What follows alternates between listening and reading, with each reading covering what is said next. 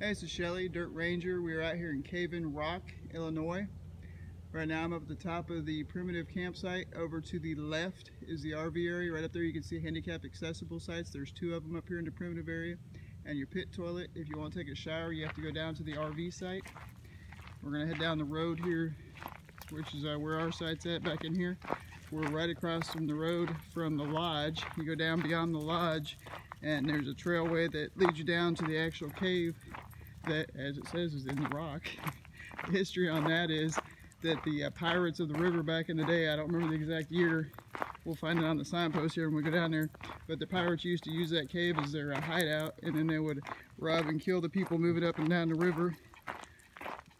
But we're gonna move over to that area, do some uh, filming over there here in just a minute. Here in just a second, you'll be able to see the truck. We're in site number 13, right up there at the top of the hill. This is a nice little area back in here. It's all shaded. You definitely have some privacy. So I hope you're out enjoying the weather. Happy camping.